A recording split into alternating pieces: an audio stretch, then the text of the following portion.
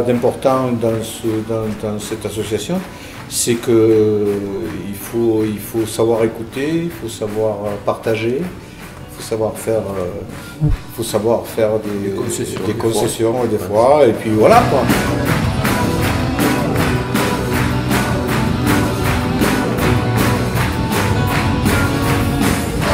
Donc, pour moi, le 48 de cœur, c'est euh, du partage entre le public et euh, les, les personnes sur scène, Euh, de l'amour euh, dans ce qu'on fait et dans ce qu'on, veut faire passer aux, personnes qui viennent nous voir.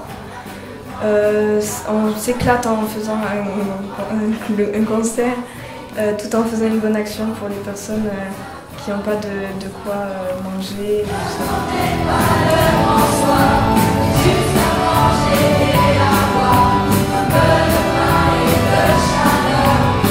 Et ben, moi, un peu pareil. C'est bien de faire partager cette expérience à plusieurs personnes. Et puis, euh, même en étant jeune comme moi, ben, on peut le faire. Et donc, euh, je trouve ça bien.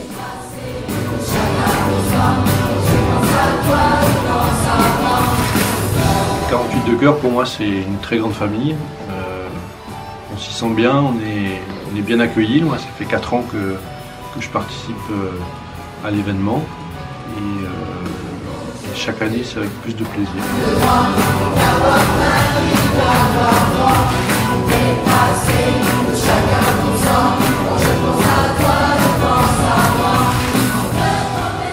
Parce que ce projet, c'est un truc, c'est ça qui est génial. Alors les gens, ils voient un beau spectacle, tout ça, ils viennent, ils payent, ils sont contents, ils font une bonne action, ils ont un beau spectacle, ils sont contents, c'est bien. Mais quand tu as, quand as une fibre artistique, quelle qu'elle soit, que tu sois vidéaste, que tu sois musicien, danseur, ce projet, c'est une opportunité absolument fantastique de s'exprimer et de faire quelque chose, de faire quelque chose. Alors tu, tu prends la balle au bon, quoi. Je veux dire, quand, quand, quand tu as compris que, que, que tu peux la prendre, tu la prends.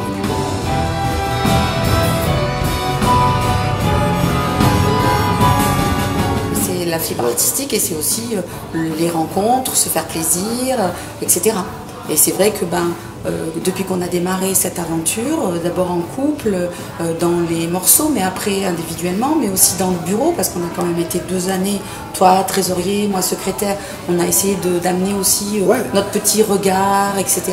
Et puis regarde cette année, euh, euh, notre fille qui est au Beaux-Arts et qui est capable de euh, faire du mapping, chose qu'elle n'a jamais fait, elle apprend, euh, elle a aidé sa amie, elle a fait des choses. Et en fait, toutes ces aventures-là, c'est des aventures à la fois de famille, à la fois d'artistes, à la fois d'individus, mais aussi d'une grande humanité et où tout le monde euh, y retrouve son compte et euh, rencontre ce qu'il est capable de rencontrer et donne ce qu'il peut donner. Et ça, c'est c'est magnifique. C'est juste trop bien. quoi.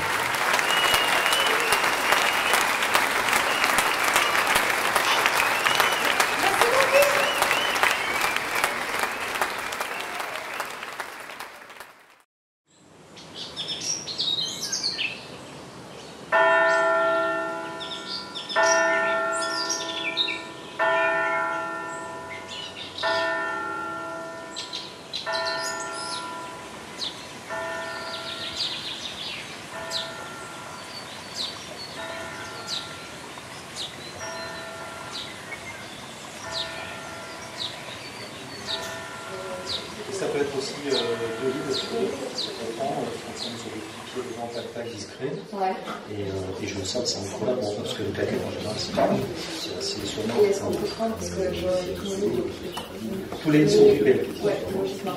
Par Donc, parce que c'est les cœurs. C'est les fameux cœurs, peut-être qu'il faut en plus. Dans les DRS et HF, c'est Tous mes livres et tous mes cœurs sont des Ah, tous Non, je me viens de votre Non, mais dis-moi, enfin, 6 livres et 4 cœurs. Ouais, ok. Du coup, sur la, sur la saison 8, on avait euh, imaginé au bureau, euh, c'est euh, de se dire voilà, il y a des chefs de projet qui rêvent de faire chaque année des projets et peut-être ça ne peut pas forcément rentrer dans le cadre. on s'est dit cette année, on va. Comment ça a déjà été fait, mais on va choisir du coup plutôt un concept de spectacle. La saison 8, c'est chaud. Et dire au chef de projet, vous avez rêvé euh, pendant plusieurs années de monter ce projet, ça pourra rentrer dedans. Cette année, ça pourra rentrer dedans.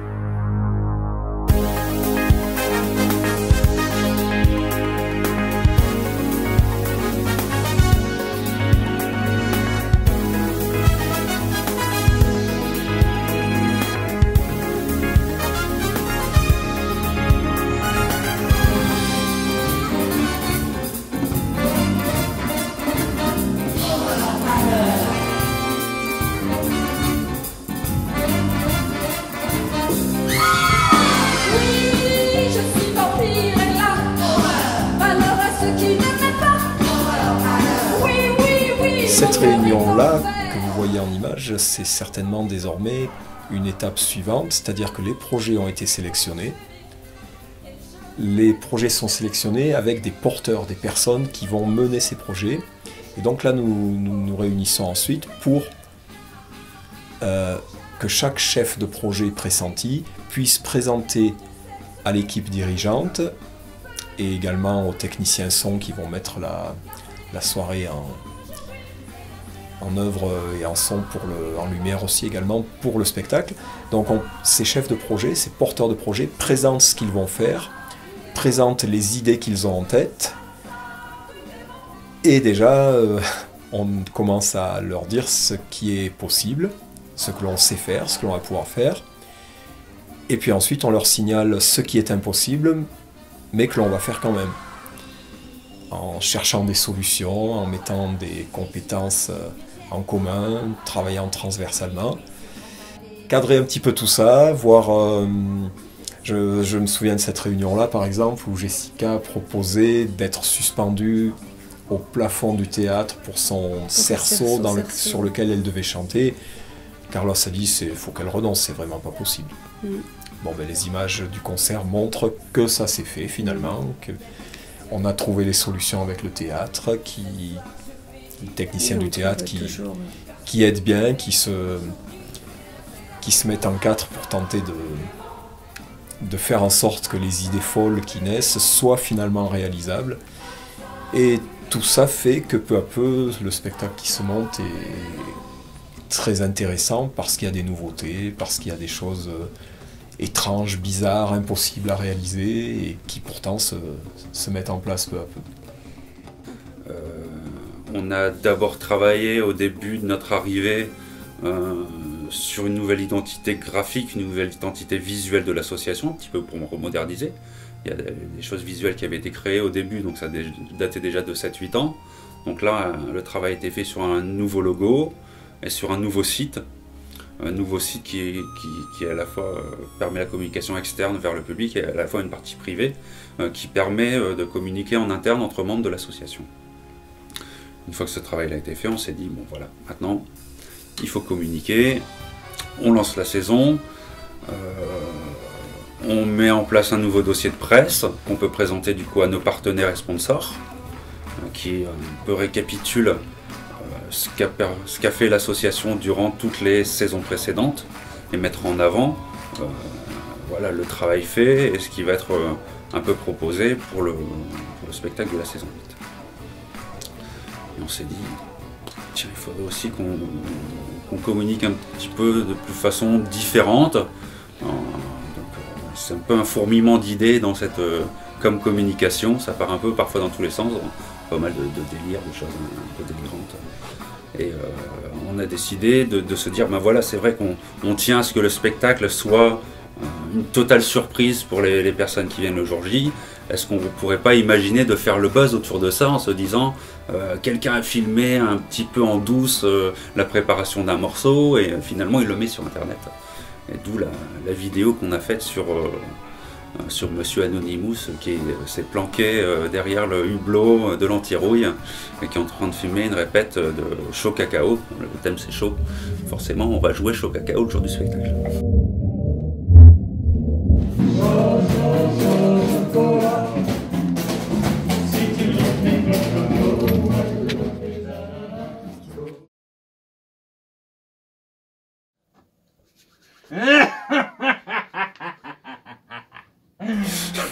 ça nous a bien fait barrer quand même à le faire, à le diffuser.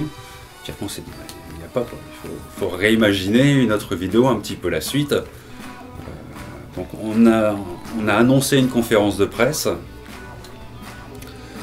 sur lequel on a fait la vraie conférence de presse avec les médias et puis après on a filmé un, faux live Facebook direct euh, qui se faisait pirater. Bon, bah, tout ça était pré-enregistré, hein. c'était ça qui est un peu ironique, de le, diffuser vraiment live sur Facebook avec le, décompte. Euh, et, quand on, démarre vraiment, voilà, on est tel jour à telle heure, alors ça avait été déjà enregistré euh, trois jours plus tôt. Et, de voir euh, un petit peu la conférence de presse qui se fait à nouveau pirater par cette personne qui avait filmé le montage du morceau Chaud Cacao et qui finalement rappelle on voulait quand même euh, passer un message, rappeler les valeurs de l'association et l'engagement que porte l'ensemble des, bénévoles à la préparation de ce spectacle. C'est quelqu'un qui a pris le contrôle du live. Je crois qu'on nous a encore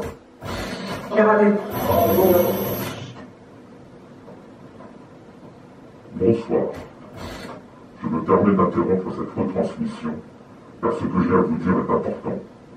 Oui, c'est bien moi, c'est intéressant, je pense qu'en termes de, nouvelles méthodes de, communication, euh, de pouvoir présenter ça, de la vidéo, de la communication multi-support, euh, la chaîne YouTube, communiquer sur Facebook, communiquer sur euh, Instagram, et après la communication plus directe, classique, auprès des relais médias, presse et radio locaux.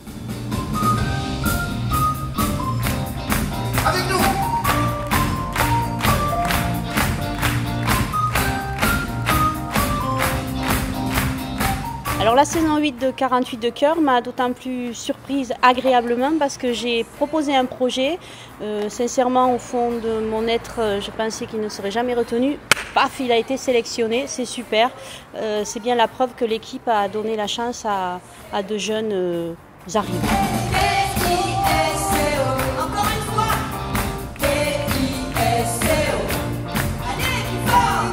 Alors c'est un pur hasard, c'est un son que j'ai entendu qui m'a plu, euh, ça m'a percuté et du coup j'ai dit pourquoi pas euh, monter ce projet et mettre en scène des adolescents. Voilà, donc euh, j'ai pris des plus vieux aux musiques et des adolescents au chant.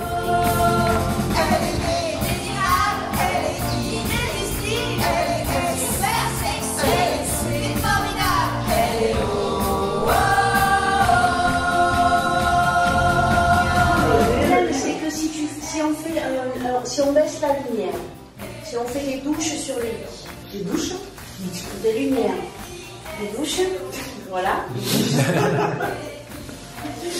Euh, le problème, c'est que je suis pas sûre que quand vous allez faire ça, ça va se voir. Par rapport à comment se situer Non, mais parce que toi, tu as dit que dans ton t-shirt, derrière, tu voulais D-I-S-C-O. Si on baisse l'intensité de la lumière, pour l'intensité de la lumière, tu vas pas la baisser longtemps. Non, juste le moment où elle peut faire ça. Au moment où. N'oublie pas que quand on commence à DSCO, on a deux fois quatre mesures, oui. sans chant. Euh, Avant que vous, vous commenciez à chanter, oui. On commence deux fois quatre mesures sans chant. Et c'est à ce moment-là que tu peux baisser la lumière et mettre en valeur Mais même quand on va faire un DSCO. Donc, tu dis sans chant, sans chant. Non, on a deux mesures sans chant. Huit mesures. On a deux tours sur le C'était la conversation entre les musiciens et ceux qui sont pas musiciens. musique, quand tu passes, quand tu passes de, euh, de à DSCO, le passage entre les deux, on a deux tours. Il y a, il y a quatre deux fois quatre mesures. Huit mesures, c'est-à-dire Oui, c'est ça, c'est tout. Et vous ne chantez pas, où il n'y a que les musiciens. Voilà, on, on fait la transition que musique. Et c'est pas sur ça que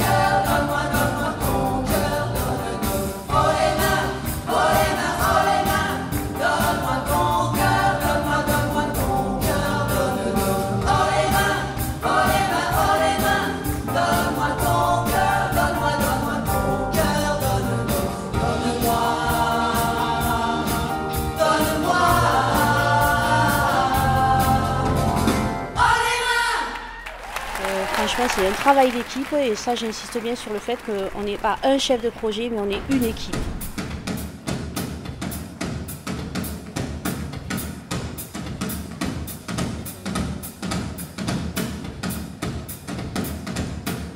Au départ, moi, c'était pas du tout mon intention.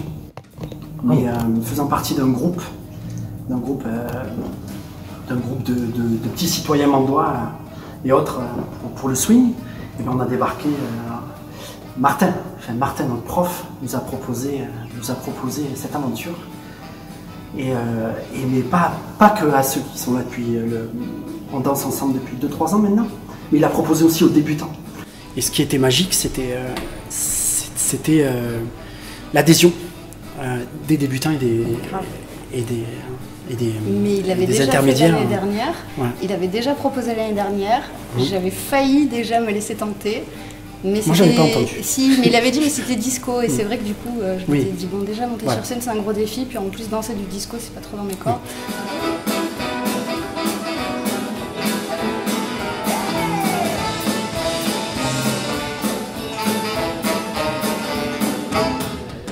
La cohésion s'est faite un jeudi soir, c'était marrant, hein, parce que euh, nos cours c'est le jeudi, et le jeudi soir il est arrivé avec son projet, avec euh, son travail, parce qu'il nous l'a posé par terre, sur son papier, il avait déjà travaillé sur ses...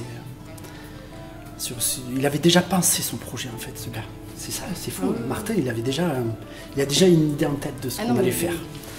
Et on, on a suivi grave. Et euh, voilà. Et euh, ce mélange, ce mesclin de, de nouveaux et d'an- d'anciens, et Oui, avec des gens qui avaient commencé l'indie que depuis deux mois quand ils ont commencé à faire cette chorégraphie qui était quand même assez ambitieuse. euh, Oui. C'était du Charleston qu'ils n'avaient jamais fait Ouais. en fait. Ouais. Donc, euh, Certains, certains n'avaient jamais fait un pas de Charleston. Ouais. Ça, c'était fou.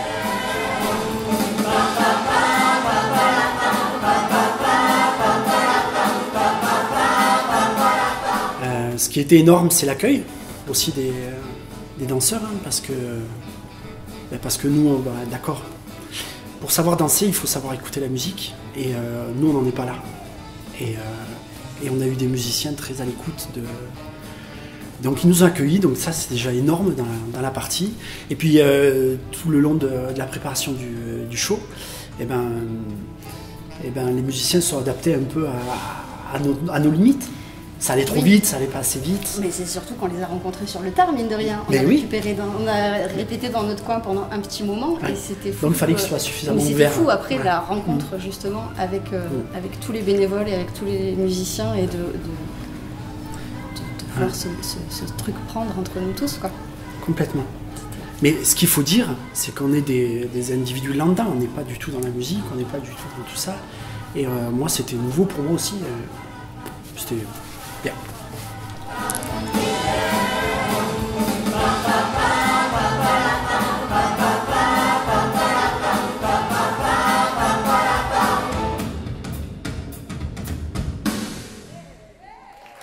Et cette année, en plus de la danse, j'ai eu envie de m'impliquer aussi sur le théâtre. J'en avais déjà fait auparavant et pour moi, ça représentait quand même un, gros challenge euh, de participer euh, sur la com théâtre du 48 de Cœur. Et en fait, très vite, j'ai été super bien accueillie euh, par les collègues. Voilà, on a formé euh, un bon groupe, il y avait une très très bonne cohésion et il y a très rapidement une très bonne entente entre nous. de l'autre côté. Et puis peut-être qu'avec l'effet mapping, en partant du milieu, en écartant comme ça, Elles deviennent. J'essaie de on voit plus rien. Continue, et puis hop, d'un coup, quand la, me perds lu- pas, hein, quand la lumière réapparaît, euh, pour- pourquoi pas Pour du introduire coup, euh, la prochaine. Et en fait, les 48, ça fait quelques années que ça existe. Et l'idée, c'est que ça permette de fluidifier un peu le spectacle et, et de faire du lien entre les morceaux. Et donc, cette année, euh, on est parti avec Samir. Et puis on savait pas trop ce qu'on allait faire. Son idée à lui, c'était la vidéo, le mapping. Et nous, on est plutôt des théâtreux, hein, derrière le tableau, Tout à fait. tout Je ça. confirme, oui. Voilà. Et donc on s'est dit, mince, mais qu'est-ce qu'on va faire? Et donc on est arrivé à la première réunion un peu stressé, en se disant, qu'est-ce qu'il va nous proposer? Et puis en fait, il est arrivé, il nous a dit, ah mais moi je vous propose rien du tout, c'est à vous de créer le truc. Ah bah merde alors. C'est cela. Il nous a laissé une certaine liberté qui, en fait, euh, nous a un peu déstabilisés dès le départ parce qu'on n'a pas l'habitude d'être euh, aussi libre au tout début du projet. Et il voulait nous amener à son idée à lui, qui était le mapping, qui était des petits films. Et, euh, il faut dire que ça s'est très très bien passé, avec quelques petites. On s'est éclaté. Quelques petits étonnements, si on peut dire. Bah oui, mais, on s'est éclaté. éclaté. Parce qu'en fait, ben, euh, lui, il avait des idées par rapport aux vidéos. Nous, on avait des idées euh, de scénettes et de, de théâtre. Et en fait, on a réussi à marier tout ça et à tout conjuguer pour que tout soit possible. Et ça, c'était un truc incroyable. Parce que nous, la vidéo, on n'y connaît rien. Et on se disait, mais comment il va arriver à faire de l'idée qu'on est en train de proposer et qu'on est prêt à jouer finalement, comment il va en faire quelque chose qui va être en interaction avec la vidéo. Et ça, c'est un truc de fou. Et au début, on n'y croyait pas du tout. On s'est dit, dans quelle galère on s'embarque et tout ça. Et finalement, c'était génial parce que ça a super bien marché.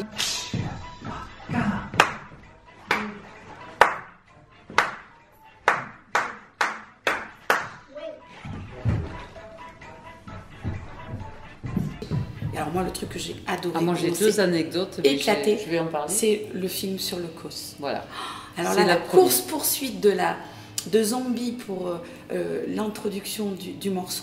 Alors ça, c'était sacrément génial. Il faisait froid, on se pelait, euh, on savait pas ce qu'il fallait faire, mais on a couru, on a crié, et le résultat, il était Il extraordinaire. faut savoir c'était un dimanche matin à 8h. Nous ne savions pas où nous allions, seulement au cos de Mende. Nous étions habillés en treillis. Il fallait courir avec des fusils qui pesaient 5-6 kilos à crier Elle est où Elle est où Elle est où? On va la tuer Au final, Pauline, qui était devant, qui était euh, très peu amitouflée, euh, ça n'est très bien sorti. Nous, on a, suivi, on a joué le jeu, c'était extraordinaire.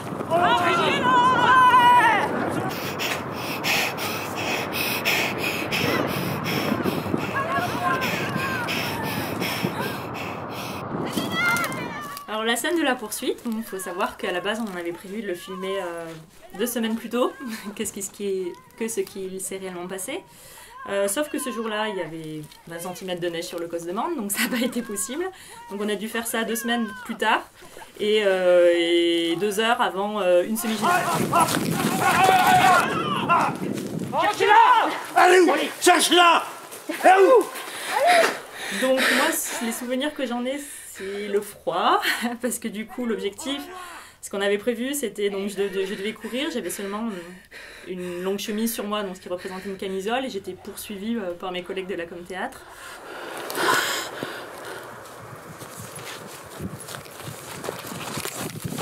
Euh, on a découvert les talents de, de- de théâtre de, de Pauline, qui est Oui. vraiment une, une chouette artiste. Laure aussi. Laure aussi. Oui. Et, et ça, c'était vraiment bien.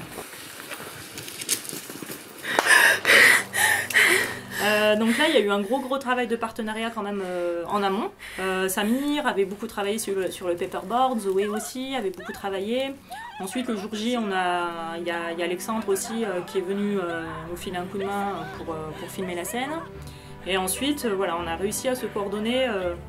on avait deux heures devant nous pour filmer cette scène-là et on a, on, a réussi à se coordonner pour, pour avoir l'effet qu'on voulait. Donc voilà, vraiment l'effet peu d'aventure au milieu d'un pré, euh, un peu en partie dans les bois, ombragés, et avec euh, cette scène qui se terminait par euh, bah, le fait que je sois euh, euh, bah, capturée, euh, ligotée. Et ensuite, voilà, l'objectif c'était de, de- de faire le lien avec le morceau qui venait euh, juste après.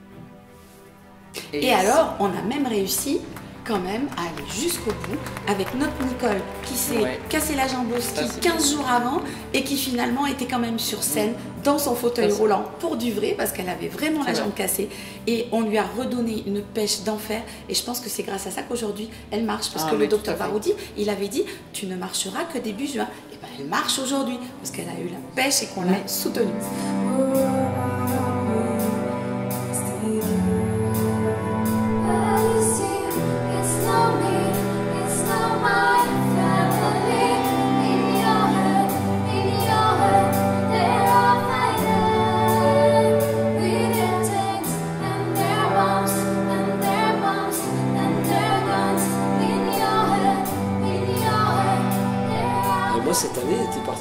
J'ai fait une pause. Ça faisait quelques années que je voulais faire une pause euh, et du coup j'avais déjà anticipé quand même de malgré tout venir au spectacle, ça paraissait inévitable. Et euh, j'avais vu avec Alex, le gars qui nous fait la vidéo, pour euh, m'intégrer sur un poste de caméraman, ce que j'ai fait au spectacle du samedi soir en fait. Donc le samedi après-midi j'étais, dans un fauteuil rouge, c'est, ce que je voulais faire depuis plusieurs années. Ça a été beaucoup trop d'émotions, je m'y attendais un petit peu. Donc j'ai, profité surtout de mon émotion et le soir j'étais euh, sur scène derrière et j'étais la petite souris qui peut voir tous ses amis en train de se régaler, de, de faire plaisir aux gens. Et puis j'avais un point de vue qui était vraiment euh, unique. euh, c'est la première année où j'ai pu faire le spectacle sur scène du début à la fin, entre autres. Voilà. Et puis pouvoir euh, me faufiler, faire des petits clins d'œil aux collègues, en train de faire la percu, de faire la batterie. Enfin, ouais, c'était, super particulier, c'était vraiment plein d'émotions. Une émotion vraiment euh, différente euh, des autres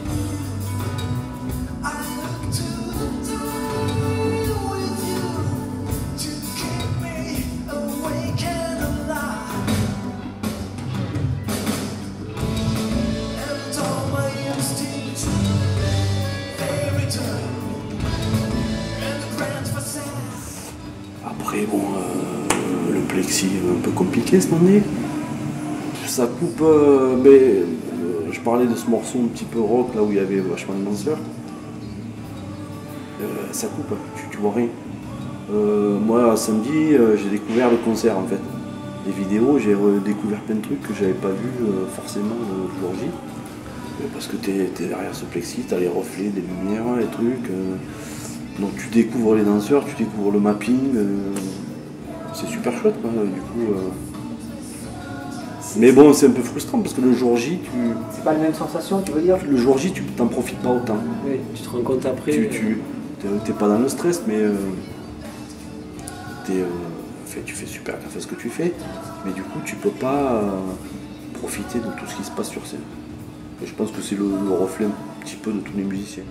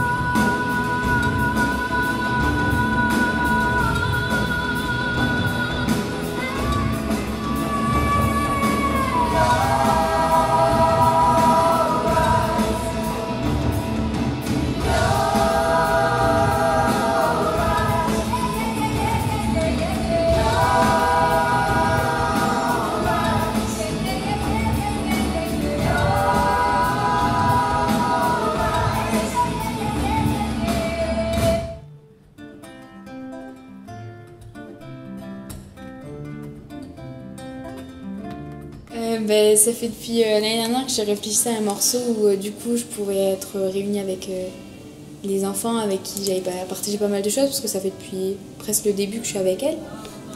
Et euh, donc du coup ben, il fallait que je, je trouve un morceau euh, intéressant, euh, voilà, etc. Et donc ben, Noah je la connaissais pas, je savais pas. Et euh, du coup on m'a dit euh, ah il y a une fille euh, qui est plutôt une jolie voix. J'ai dit ben nickel, je, je vais l'écouter. Et euh, du coup, voilà, après ça s'est fait, j'ai trouvé d'autres personnes qui ont voulu jouer avec moi. Et, euh, au final, le morceau, voilà, a été créé. Mais c'est pas moi qui l'ai créé, c'est tout le monde ensemble. Emmène-moi voir la mer, emmène-moi voir l'océan. Emmène-moi dans les airs, aime-moi dans le vent.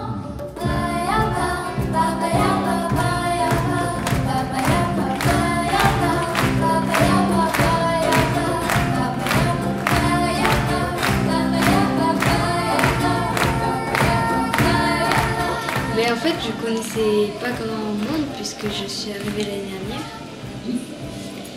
Et euh, ben, elles y étaient pas l'année dernière. Alors ben, j'avais fait qu'un morceau, alors ben, j'ai rencontré les gens. Voir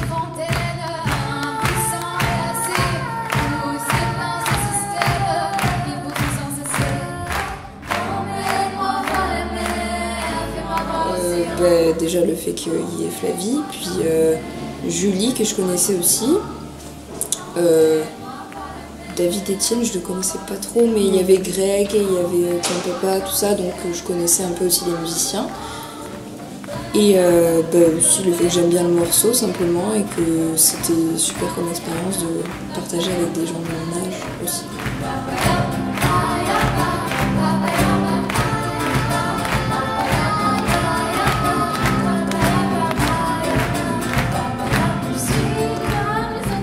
Après, il y a aussi euh, Claire cette année qui a chanté euh, en lead, donc c'était une première aussi pour elle, donc euh, grande, une grande fierté pour moi parce que je sais qu'elle a, elle a, pris sur elle, mais après, je pense qu'elle a pris le jour J beaucoup de plaisir aussi, mais ça a été compliqué pour elle, mais franchement, le résultat est top. Et c'est la fierté aussi de cette année pour moi. C'est vraiment une année charnière aussi par rapport à Claire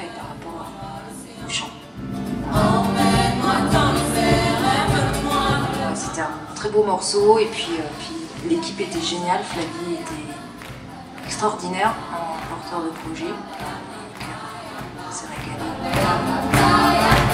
euh,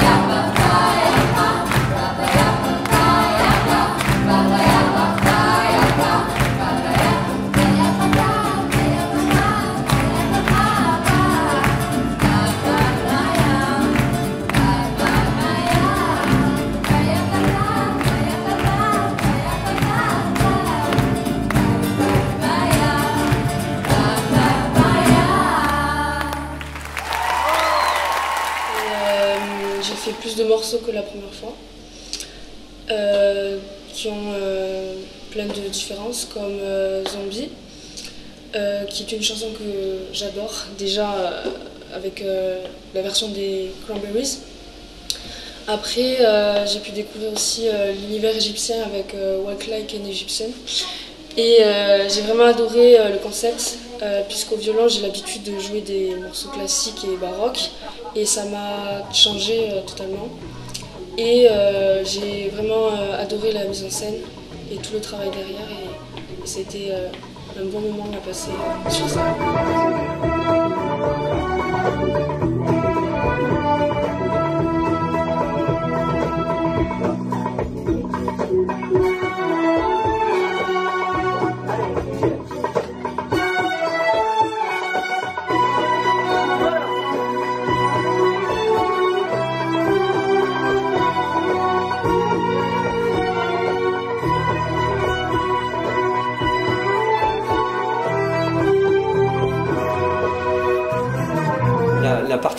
C'est quand même que euh, la plupart, des- pas la plupart des instruments, mais que ce soit les cuivres, que ce soit les violons ou la, la flûte traversière, c'est qu'on n'intervient qu'à un certain moment. C'est-à-dire on n'intervient pas tout le long, mais à un certain moment. Et c'est ça la difficulté, c'est-à-dire d'arriver à s'intégrer à un moment donné X euh, du, morceau.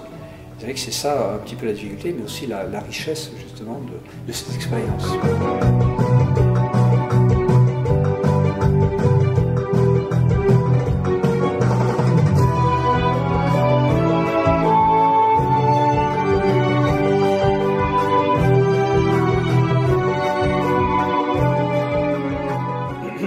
D'équipe, on parle de pupitre, c'est-à-dire que pupitre pour nous c'était le pupitre euh, violon évidemment. Et donc le, travail c'est d'abord de se travailler en pupitre, c'est-à-dire de savoir ce qu'on va faire ensemble et la façon dont on va le faire. Euh, et ensuite de s'intégrer dans le morceau. Alors s'intégrer dans le morceau, ça veut dire avec les autres instruments, ce qui n'est pas forcément évident, même si on travaille avec, euh, un fond sonore qui, qui nous permet d'être soutenu par, par, euh, par cette musique. Voilà, donc c'est effectivement d'abord un travail euh, impersonnel euh, déjà, avec les partitions qu'on nous a données, ensuite un travail de groupe, et ensuite un travail avec le fond musical, et ensuite quand on se retrouve euh, tous ensemble, c'est-à-dire, euh, je vais presque dire en live, c'est-à-dire euh, physiquement euh, en- entre nous, là ça devient un petit peu différent, euh, et c'est là que ça devient un peu plus difficile à mettre en place.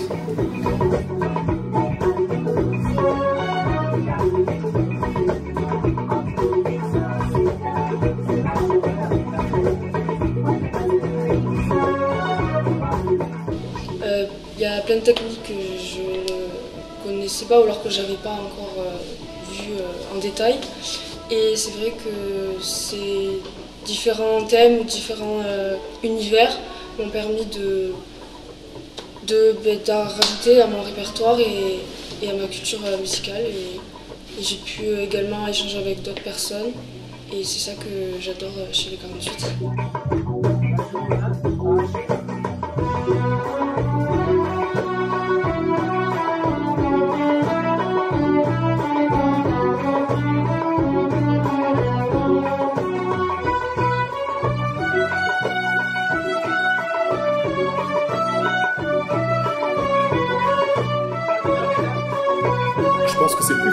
Facile de s'adapter sur des choses très différentes que euh, de jouer tout le temps la même chose, où on peut, on peut finalement à un moment se, se- se fatiguer un peu ou, se, ou trouver ça répétitif. Là, c'est intéressant parce que justement, c'est un challenge à chaque fois. S'adapter avec les. C'est un travail d'équipe en fait. hein. On Ah, tout à fait, on- oui, c'est la, la diversité musicale, la diversité de, de rythme aussi, euh, qui est totalement différente. Euh, c'est vrai, quand on parle de Nothing, euh, amateur, et puis et ensuite qu'on passe, euh, qu'on passe à ce chant occitan, c'est chant occitan ou au effectivement. claquin égyptian, c'est vrai, avec les, les, les mesures très différentes, les façons de. Voilà, les- le rythme très différent ou la, la pulsation très différente. Ouais, c'est, c'est- mais c'est ça qui est intéressant aussi. C'est le challenge justement de, de se réadapter et de repartir sur quelque chose d'un petit, peu, d'un petit peu neuf.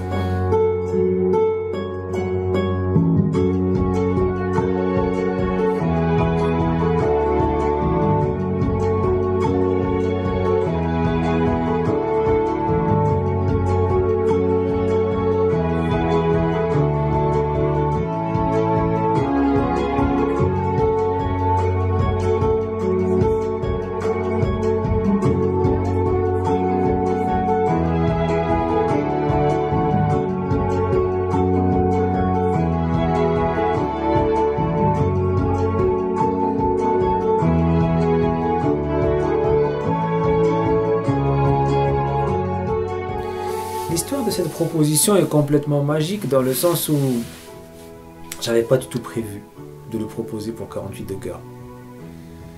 Il se trouve que j'étais en train de faire du tri dans des archives informatiques que, que je trimballe avec moi depuis X temps, même qui date du Maroc. Et je trouve une sauvegarde du DVD du concert de Metallica avec le San Francisco euh, Symphony Orchestra. Ils avaient repris ce titre, mais c'était juste sublime. C'est quelque chose qui a tourné, euh, je vous parle des années 2000, hein, 2000, 2001, je sais plus. Euh, c'est quelque chose qui a tourné euh, en boucle sur toutes les chaînes musicales. les gens ont acheté les DVD et tout. Enfin, moi j'avais adoré. J'avais fait une copie. Bien sûr, j'avais perdu le DVD dans un déménagement ou je sais pas, mais j'avais quand même cette sauvegarde.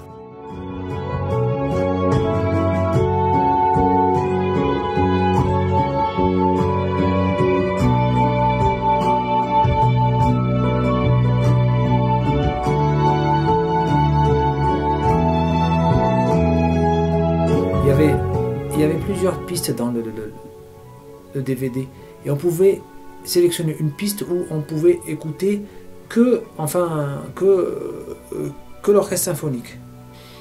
Quelques jours après, euh, je tombe sur une version de Shakira euh, où elle a carrément intégré une rythmique argentine qu'on appelle la chacarera, qui ressemble beaucoup à quelque chose qui se fait chez moi en fait au Maroc. Euh, les rythmes gnawa, genre tak de gakv. Et là je me dis, euh, ouais bah enfin, c'est le morceau que je dois proposer quoi. Elle avait mis une introduction de, de, de, de Fayrouz, et Fayrouz c'est la diva de la chanson classique arabe. Je dis pas orientale, attention en faisant le, la, chanson classique arabe, Fayrouz. Euh, je me suis dit c'est bon, c'est mon morceau.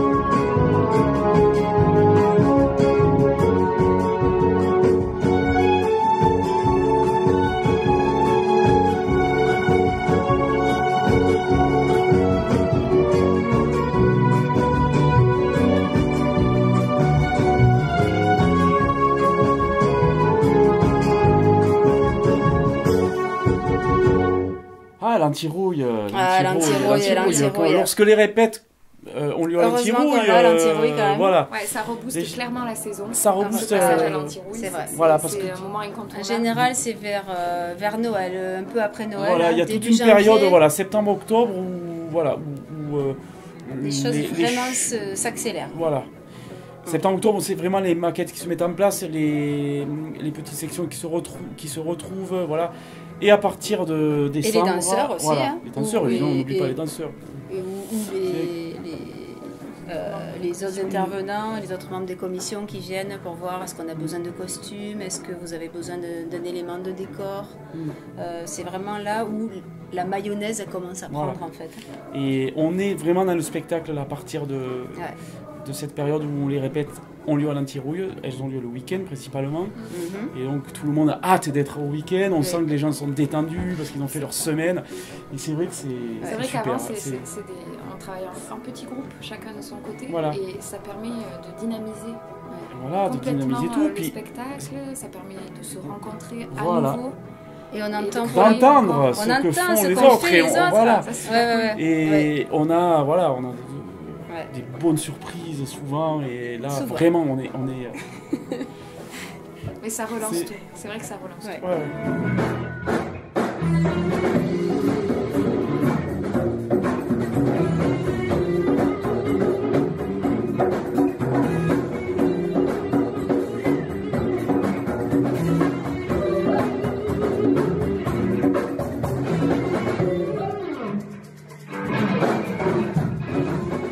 Après, l'antirouille, ça demande aussi beaucoup d'organisation euh, de technique. Parce que euh, on arrive, euh, enfin le, le soir après, il faut, Mm. enfin, faut tout, déjà tout mettre en place avant que tout le monde arrive. Voilà, puis Donc il y a une voilà. grosse équipe technique quand même. Il faut savoir que c'est pas l'équipe technique du théâtre Non, qui sonorise les répètes de l'antirouille, Enfin, c'est- nous-mêmes. Enfin, voilà, c'est les membres de l'assaut Voilà. qui amènent un amène prêtent leur la sono, matériel, un apporte ouais. Des micros, l'autre apporte sa batterie, etc. Ouais. Euh, voilà, c'est vraiment euh, c'est tout le monde qui apporte quelque chose. hein. Même euh, chacun apporte une bière aussi, c'est Mm. vraiment sympa. Ou un gâteau. Et ou un gâteau. ou- Oui, on ne fait pas que boire, on mange. C'est vrai, ouais, c'est vrai.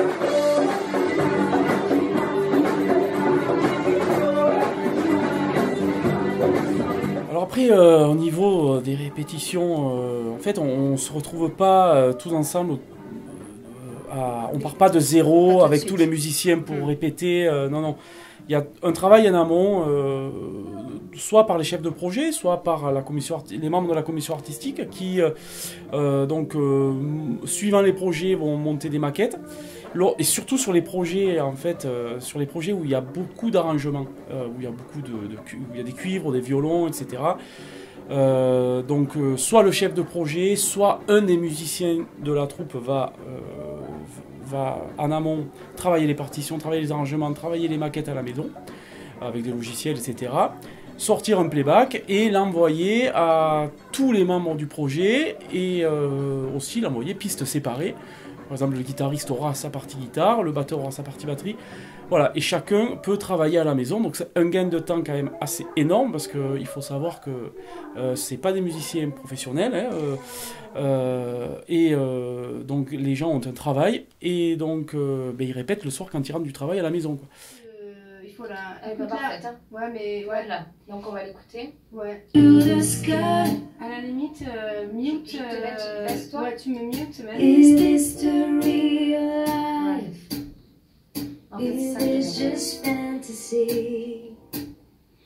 Caught in a landslide, no escape from reality. Voilà.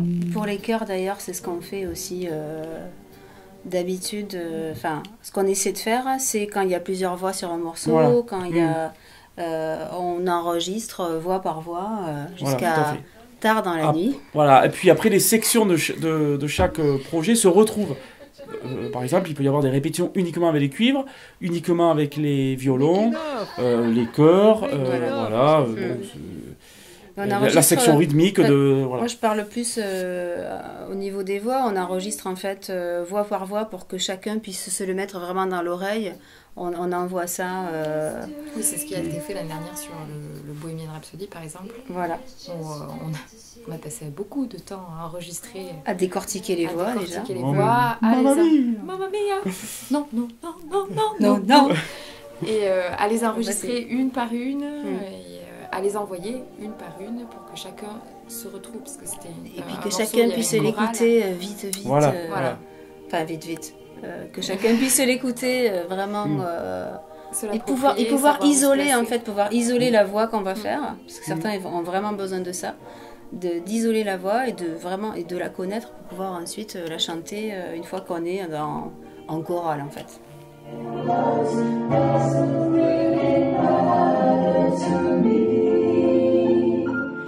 Euh,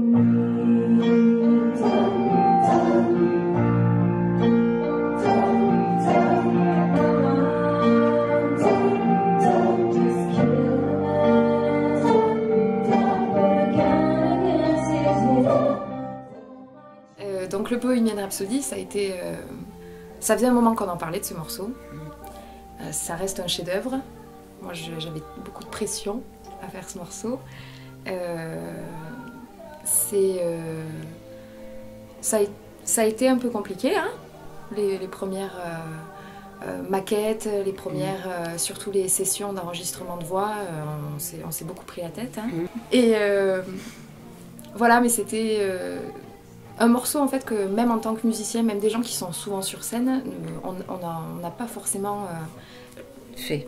Voilà, c'est- un morceau. euh, Mm. Tu fais pas ce qu'on ne morceau joue pas en euh, Voilà, au baloche du samedi soir. C'est ça aussi, quand on est musicien, c'est ce que permet la. C'est ce que permet ce la que sauce. permet l'assaut. C'est ce que permet ce spectacle, c'est de pouvoir faire des morceaux f- que, que l'on ne fait pas dans nos groupes respectifs. Euh, voilà, euh, le Bohémian, voilà, euh, il y a- Non, tu le fais pas. tu le fais pas. Non, tu le fais pas. clairement. Voilà. Voilà. Il y a des groupes qui le font, hein, je dis pas, mais on peut la- l'arranger, l'adapter, mais c'est un morceau, si on veut le faire vraiment euh, le mieux possible, il faut du, monde. Voilà.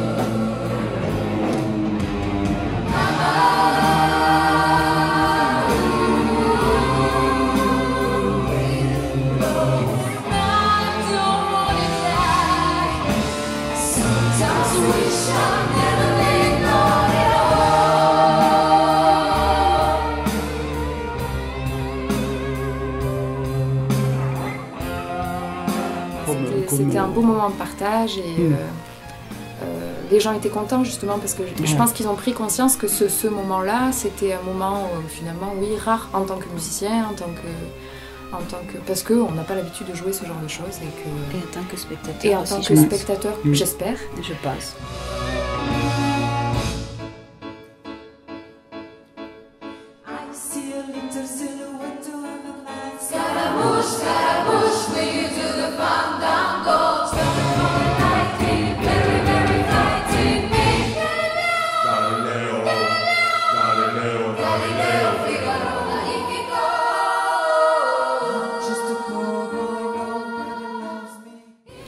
Plus ce morceau, on- au début on l'a choisi.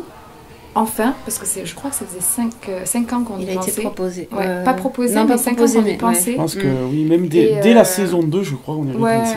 on le il, murmurait. est, il est- il murmurait dans les Voilà. couloirs. Et donc ce ça a été un peu. euh, On a eu de la chance. Le film Non, est sorti juste après ouais. en plus. Euh, enfin, je- de la chance, je sais pas, parce que moi, que le jour où j'ai compris que Bohémienne sortait au cinéma, ben, j'ai fait pipi dans ma culotte. Non. Ça m'a mis une pression supplémentaire en tout cas.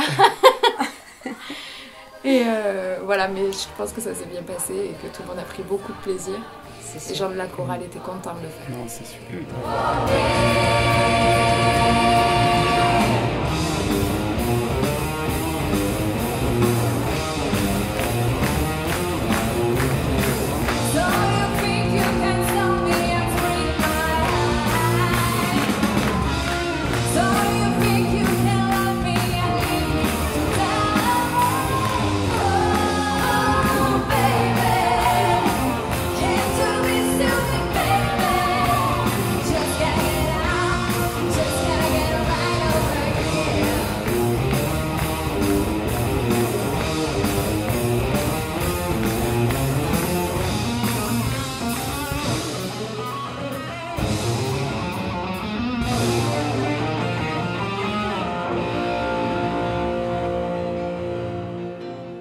L'arrangement musical.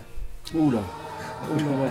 Le Deux gros heures- travail. euh, deux heures du mat. Le gros travail Trois du euh, de 3 mois, là, octobre, novembre, décembre, jusqu'aux premières répètes.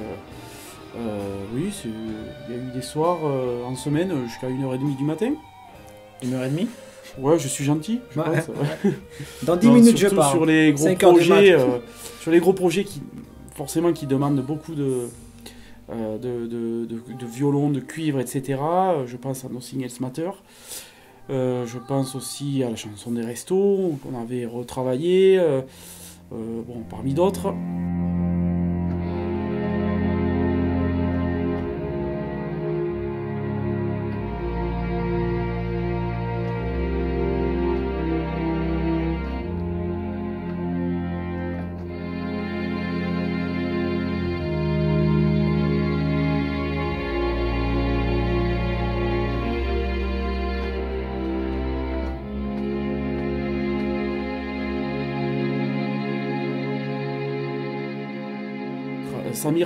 Premier, euh, un petit peu le morceau avec la structure, etc. Et puis après, on se voit tous les deux pour, euh, pour voir ce qu'on rajoute, ce qu'on enlève, les parties. euh, c'est- énorme, énormément de travail parce que un coup, ça va nous plaire à la première écoute. Après, on se dit, mais est-ce que ça va être jouable par les musiciens? Il faut, il faut trouver. Le plus difficile, c'est de trouver quelque chose qui, est, qui va être jouable. On ra- on rappelle, on a affaire quand même à des musiciens amateurs, qui sont pas forcément lecteurs en plus, etc. Et euh, qui plaisent, quelque chose qui plaise aussi. Qui soit pas non plus, il faut pas tomber dans une recherche un peu trop expérimentale, etc. Donc il faut quand même que ce, soit, que ce soit abordable pour tout le monde. Et c'est des heures, euh, c'est des heures, hein Bah, c'est des, heures de, des heures euh, de travail au début. Surtout ce qu'il faut dire, bon, moi j'arrange des morceaux, mais je suis amateur, je suis pas professionnel, et du coup, euh, euh, Alex m'aide beaucoup sur le côté, euh, on va dire, euh, théorie musicale, lecture de musique, parce que je ne lis pas la musique, je fais tout à l'oreille. Le côté frigé Le côté frigé, oui, par exemple. Non, mais ça nous permet, c'est vrai que ça Ouais, non, mais ça de- permet d'échanger énormément de parce partager que- sur des choses que par exemple moi je jouais Ouais. depuis mon- ma jeunesse Voilà. et que lui il arrive à m'expliquer en fait d'une façon musicale et du coup paf la lumière s'allume je comprends tout euh, voilà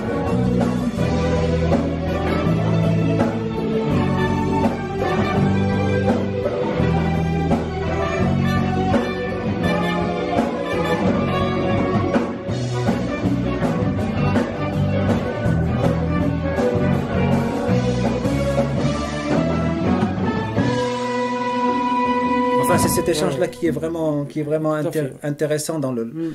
Voilà, mais euh, tu parlais de Nothing Else Matters. Enfin, euh, la version qu'on en a fait là, hein, parce qu'on on l'a faite ensemble, euh, c'est pour ça que je dis que la musique, en fait, elle fait voyager. Bah, c'est pour l'anecdote, hein, on était, en, on était en, en- en Bretagne, je suis sûr qu'ils sont cousins avec les Marocains. Tu sais pourquoi? Parce qu'ils mettent beaucoup de beurre dans leur truc. Dans leur, dans leur, eh, c'est pareil, la- leur musique elle est pareille. Eh ben, si tu regardes leur truc, leur truc, euh, on va dire traditionnel, je rêve au Maroc, tac, tac, tac, tac, de ta- eh, c'est c'est pas loin. Ah bah, enfin, je dis ça, je dis ça, je dis ça, le, le fait que le qu'il y ait Jérôme en batteur sur le morceau, ce n'est pas par hasard. Il est d'origine bretonne et Mm. c'est genre, c'est c'est évident, c'est sûr. Il faut qu'il soit là.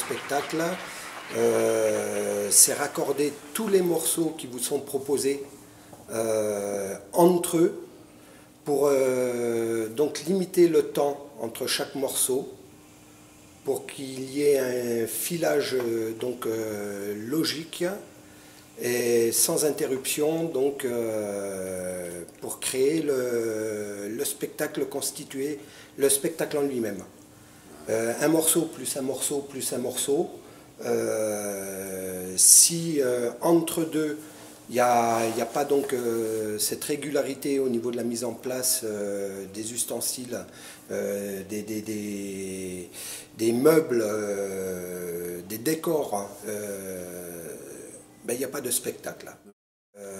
donc, faire attention à tout ce qui est décor.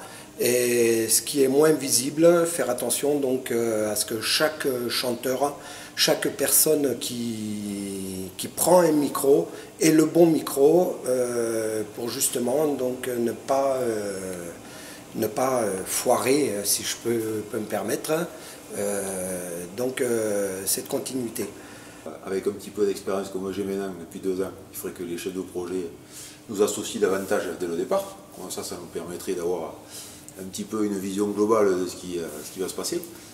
Et après, euh, ben, euh, pour dire un petit peu, là, enfin, je pense notre ressenti, et moi mon ressenti, bon, Régis a l'expérience depuis quelques années, et d'ailleurs c'est par rapport à toi que je suis venu, Véro. Et je suis content que tu sois arrivé, Et moi, ça aide. Et moi, je te garantis, c'est super sympa. En plus, j'ai- j'aime bien ce style de truc. Euh, et moi qui n'aime pas en plus me mettre en avant, et j'ai participé au show parce qu'on est obligé de chanter à la fin avec la, la chanson des restos, ce qui est sympa.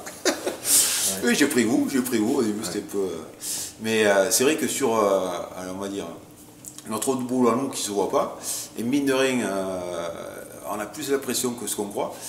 Parce que nous, notre but, il faut que vous, tout se passe bien. Et c'est vrai, tu disais tout à l'heure, lors du filage, etc., même jusqu'aux petits détails, on s'habille tout en noir pour essayer de passer le plus inaperçu possible, etc. Faire le transfert d'un plateau à un autre, euh, ben, le plus vite possible aussi. Et, euh, et surtout, mais qui n'y ait pas, ben, qu'il y ait pas de loupé, que ce soit dans la gestion un petit peu des micros qui correspondent à tel ou tel chanteur ou tel artiste, et après le transfert des, euh, des comment ça s'appelle, des décors, etc. Mais ce qu'on voit pas aussi, c'est qu'on porte les décors, mais derrière, il y a une sacrée logistique au niveau euh, quel décor passe avant l'autre pour pas que gêne l'autre.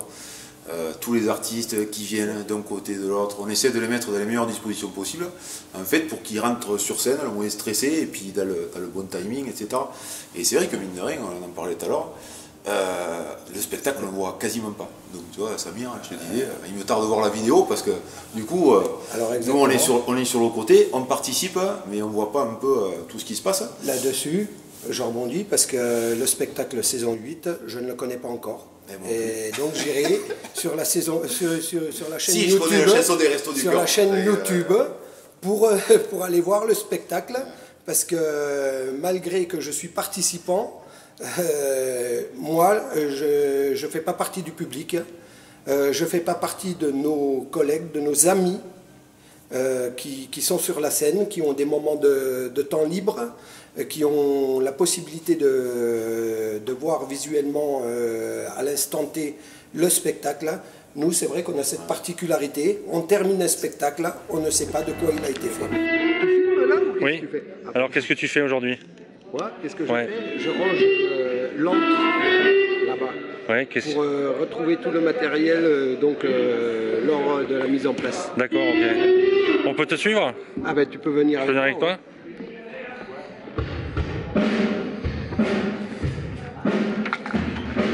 Voilà l'antre. L'antre C'est la cachette? La, la cachette. Donc ça c'est tous les éléments de décor pour le spectacle. Tout le bazar. On va agencer Dans le déroulement des, des choses, c'est quelque chose de, de- de- de très humain. Ah C'est-à-dire, on, on est une équipe, on est un groupe, on est des amis, on est des copains. Euh, on s'amuse, il y a de la convivialité euh, que, que, euh, tout le monde ne voit pas parce que ça, ça nous appartient. C'est vraiment le, le- le côté dans le groupe euh, qu'on se réserve à nous de façon égoïste. Hein.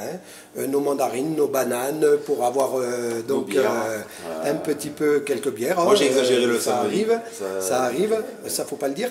Si, Mais si, si. donc. Mais j'ai pensé au tapis pour les filles, pour pas que aient froid aux pieds pendant que les attendent avant de, ren- Tout à fait. de rentrer sur scène. Ce que moi je n'avais pas pensé, et c'est pour ça que et c'est pour ça que Bon, ben, j'espère qu'elles ont apprécié. C'est un travail d'équipe parce que là où il y en a un qui qui faiblit, l'autre récupère pour, le bien-être du public et, de nos, compagnons chanteurs, danseurs, euh, musiciens. Et tu vois, ben, je vais vous dire un truc, hein, du coup. euh, et mine de rien, on se fout plus de la pression que ce que j'en crois. Parce que ça paraît pas, mais c'est très énergivore. Et même pour des, petits détails à la con, euh, on n'a pas beaucoup de, répit. Donc on apprécie aussi la, petite entracte. Et notamment cette année, la différence qu'il y avait l'année dernière, c'est que on ne peut pas traverser le rideau derrière, donc on ne peut pas traverser la scène. Donc pour X raison que ce soit, si on se loupe dans la logistique, c'est cuit. Et c'est vrai que c'est notre particularité. Ou parce sinon, que- tu fais le tour du théâtre, tu regardes le public, tu repasses par les trucs, etc. Des fly, un canapé, une table basse. Un chaudron. Un chaudron. chaudron. Ah, il est beau ce chaudron. Il vient d'arriver Je sais pas. Bon, bah, il faut tout mettre euh, dans l'ordre du spectacle. On va essayer. Bon, bah, bon courage. C'est, c'est- ouais, c'est une belle aventure, c'est une grande aventure. Belle aventure humaine. Ouais. Tu vois, c'est bien. Et je le dis vraiment avec Ah, émotion. vrai, Avec sincérité. ouais. Très très belle aventure.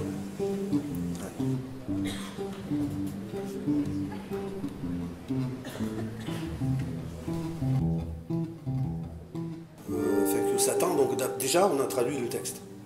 Le texte c'est Thank you Satan, un texte de Léo Ferré. On a, il y a un mot en anglais, deux mots, Thank you. On a commencé par le traduire, c'était très dur. Ça c'était plus dur. Et une fois que ce travail de traduction a été fait, en fait, euh, il fallait une idée.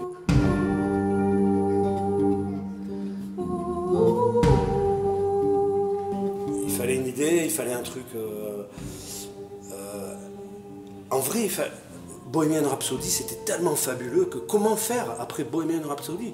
Qu'est-ce qu'il fallait faire? Comment, comment on pouvait s'en sortir? Eh ben, La solution, eh ben, c'est tout simple, c'est faire quelque chose qui n'a rien à voir. Et au lieu d'avoir pléthore de musiciens et de choristes et compagnie, on va faire quelque chose taillé à la serpe, un truc rock'n'roll, un truc simple, efficace et qui sonne. Quoi. Voilà. Avec une petite originalité quand même. Merci Satan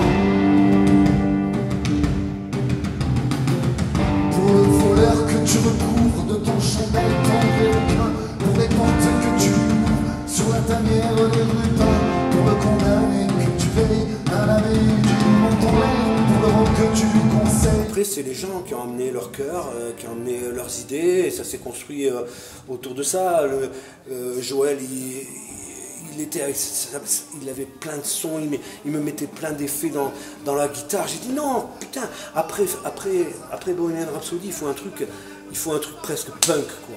Et, et, voilà, donc du coup, je t'enlèves tout ça et tu me mets un son, mais vraiment un son trash, quoi, un son qui, qui- presque qui fait mal à écouter, quoi. Parce que crade, crade, ouais. Parce qu'il faut pas qu'on puisse être comparé avec. Il faut qu'on change, il faut qu'on tourne une page. Merci Merci Satan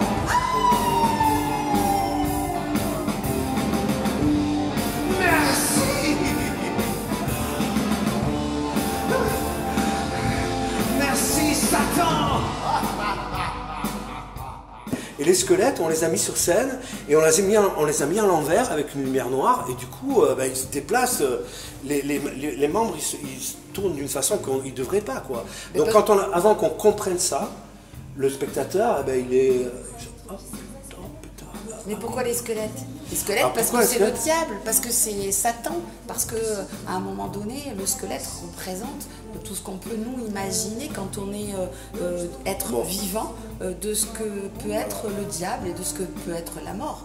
Et du coup, les squelettes, Ouais. c'était ça, c'était cette image-là. Merci Pour la sépulture anonyme que tu fis à Monsieur Mozart Sans crainte de rien sauf pour la frime Un chien croque-mort du hasard Pour les poètes que tu glisses au chevet des adolescents Après, il y avait une autre idée, je ne je sais pas si ça a marché, il faut que je regarde la vidéo, je n'ai pas encore bien vu. C'est qu'en en fait, il y, avait, il y a trois chanteurs, et l'idée c'est un peu faire la magie, c'est-à-dire qu'il y a un chanteur qui chante, hop, il se cache derrière une cape, il disparaît, et avec la lumière noire, il apparaît à l'autre bout de la scène. Donc l'idée c'était ça, c'était de jouer, de faire une sorte de magie qui quelque part est un peu avec l'idée du mapping aussi. euh, c'était dans la thématique du, du l'utilisation de la vidéo. Il n'y a pas d'utilisation de vidéo du tout, bien qu'il y a eu des idées, mais qui ne sont pas faites parce que ça gâchait un peu avec la lumière. On aurait voulu, j'aurais voulu mettre un œil comme l'œil de Big Brother euh, sur le fond de scène, mais ça, finalement, ça aurait éteint les squelettes et, et les personnages. Donc, du coup, on, on a décidé de ne pas le faire euh, pour, pour que, pour que le spectacle soit le mieux, enfin, le morceau soit le mieux possible. Dans un monde où les muselières ne sont plus C'est vrai que j'ai- personnellement, moi, j'ai- une expérience de théâtre, je vois beaucoup de théâtre, et je, je pense que moi, ma, ma carte à jouer sur ce projet, c'est, c'est d'amener un truc, euh, euh, c'est de jouer un peu la mise en scène. Quoi. Je trouve que j'essaye en tout cas d'amener mon, mes idées dans ce sens, quoi, parce que a- y a plein de, super musicos, et, en fait j'essaie de le porter un peu vers le théâtre, à la fois la musique et le théâtre. C'est, un peu l'idée aussi. Un morceau, quand euh, il est un petit peu scénographié, il raconte une histoire. Et en fait, je pense que les gens, ils aiment qu'on leur raconte des histoires. Que ce soit dans le, le spectacle dans sa globalité, si on a un thème qui part de A, qui arrive à Z avec une histoire qui se raconte. Mais si c'est pas le cas, dans les morceaux, ça peut être chouette qu'il y ait cette histoire racontée parce que ça amène un autre regard que simplement écouter une chanson ou de la musique. Alexandrie Alexandra. Un morceau euh, populaire. c'est bien amusé quand même sur ce morceau. Franchement, je crois que c'est euh, en plusieurs années de participation le, moment où j'ai pris le, plus de plaisir, je crois. De voir la, quasi-totalité du public se lever euh, pendant les trois représentations euh, et faire la chorégraphie. C'était vraiment un très très bon moment et c'est vraiment un très grand plaisir de pouvoir transmettre ça aux, personnes qui viennent euh, voir ce spectacle. Et, c'est vrai qu'au départ, on était parti sur euh, Alexandrie Alexandra et chemin faisant, au fur et à mesure des répètes. euh, et on s'est dit, euh, profiter de ce moment et puis mettre d'autres morceaux de François. hein. Le Magnolia, Je vis.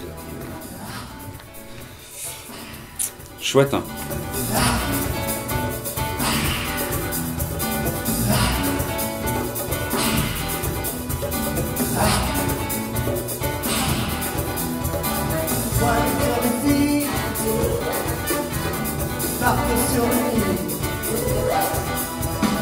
Je suis dans ta vie, je suis dans tes bras. Alexandra, Alexandrie, Alexandrie où l'abondance avec la nuit. Je suis l'appétit, Jamaïca. Ce qui était moins chouette quand même, pour le, le Claude François, je me souviens euh, d'avoir sollicité du coup Samir pour le mapping. Et je lui dis, ce que j'aimerais bien, moi du coup sur Claude François, c'est que tu me mettes une boule à facettes Jordisco. Elle me dit, ah non, c'est pas possible, c'est déjà sur tel morceau. Bon, ben, je sais pas, Magnolia Forever, euh, trouve-moi quelque chose. euh, tu me mets la pyramide dans Alexandrie Alexandra quoi. Ah bah non ça c'est déjà sur le morceau Rio. Euh, ou non c'est pour like une, égyptienne. Et, sur Rio, voilà je vais à Rio, ben tu me mets le Corcovado comme ça. Et ben non c'est sur le morceau je vais à Rio. Donc euh, vraiment pas de chance quoi. Je pense que je suis, euh, je suis arrivé en dernier et toutes les idées ont été prises par les autres. Voilà, tout ce qui pourrait coller un petit peu au morceau Claude François a été un peu pris par les, par, les, les autres morceaux qui, qui étaient tout autant justifiés pour, pour leur morceau, pour leur mapping. Un petit peu, un petit peu pas de chance.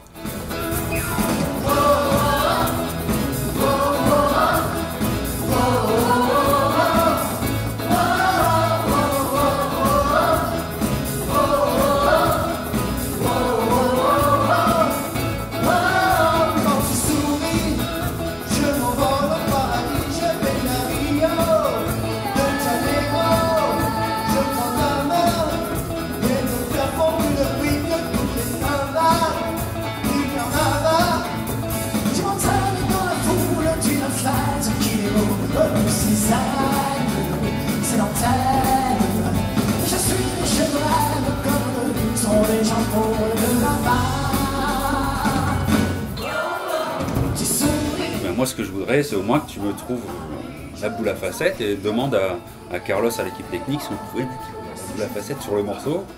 Et je pense que finalement, la vraie boule à facettes n'était pas là. On a réussi quand même à mettre une gigantesque boule à facettes euh, sur le, le fond de scène euh, avec ce mapping. J'ai quand même eu ma boule à facettes, mais euh, pas de la façon dont je l'imaginais au début.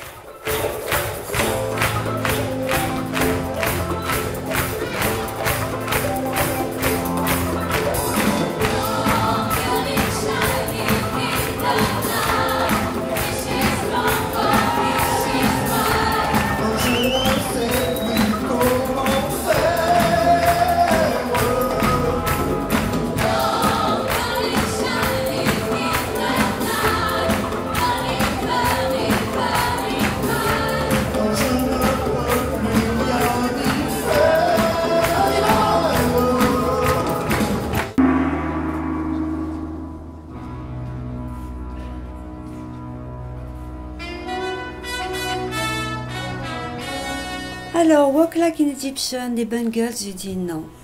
C'est vrai, il y avait une bonne guitare quand même. hein. Un peu rock. J'ai dit non, j'aimerais bien euh, orientaliser tout ça. Moi, l'Égypte, le Nil, les le sable blanc, euh, les sycomores, ça me va bien, les ibis.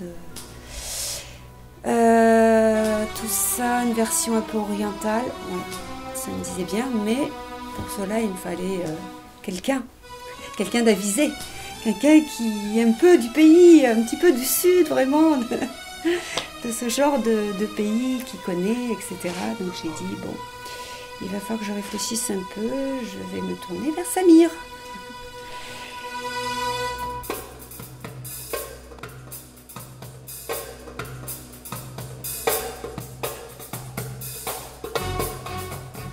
Zazou.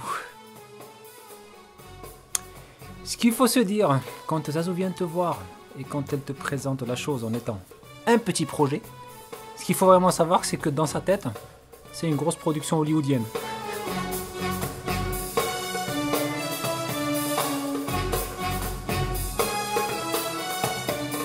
Tu lui as présenté quand même d'abord la version des Pupini Sisters. Oui, les Pupini Parce Sisters, parce qu'il y avait Les déjà- Bangles, ça parlait pas beaucoup quand Ouais, même. il y avait déjà un petit peu euh, Mm. d'Orient dedans, euh, euh, surtout au niveau des chœurs et tout, la mélodie, je trouvais que c'était pas mal intéressant. Donc là, Samir il s'est couché. Et puis je sais pas pourquoi, il m'a rappelé le lendemain ou le surlendemain, je sais pas, ling, ça fait ding dans sa tête. Et là il m'a dit ça y est, j'ai tout.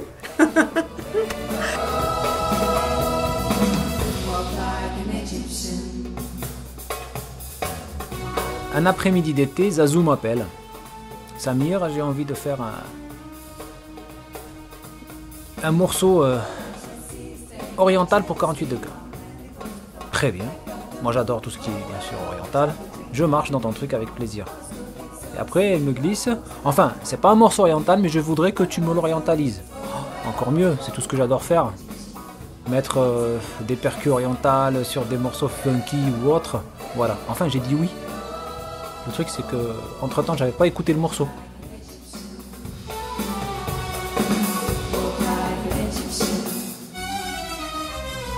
Et là, elle me l'a fait écouter. Et je me rends compte que c'est juste un morceau avec des superbes voix, mais qui tourne à une cadence euh, aux alentours de 210-215 BPM. Ce qui veut dire super rapide. Alors que la musique orientale, elle est carrément. euh, Elle tourne autour de 100, 120. Voilà. Je me dis, mais comment je vais lui ori- orientaliser tout ça là?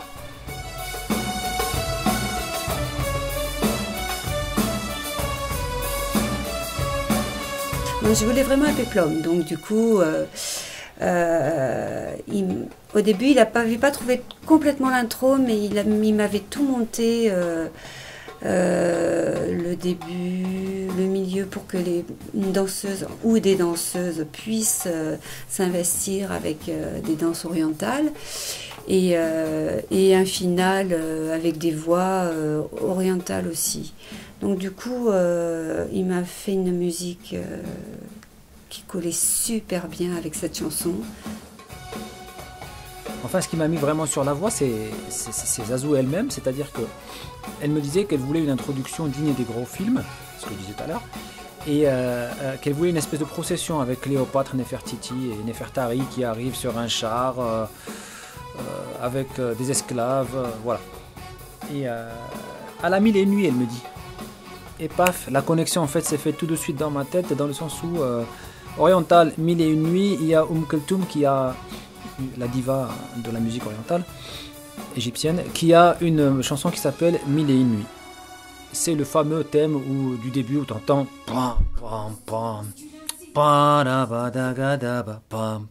pam. Enfin, ça marche très bien pour la procession. Donc euh, je me suis dit, euh, orientalisé c'est Umm Kulthum quoi. Donc toutes les parties qui sont dans le morceau, elles sont tirées du répertoire de Umm Kulthum, ce sont voilà. Restait le problème du tempo. Comment j'allais faire?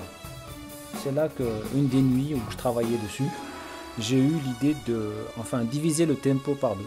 Prendre deux mesures de, de, de, de, l'original pour une mesure du tempo que je, voulais- que je voulais mettre.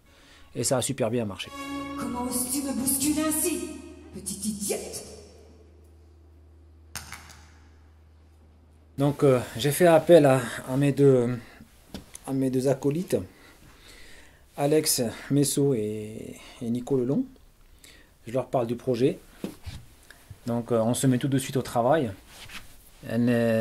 Enfin, s'en suivit un tel échange que euh, ça, a, été juste super. Ça nous fait voyager musicalement et, donc euh, on, a, on a juste pu poser cette, cette, ces parties, ensemble et les préparer après aux différents musiciens.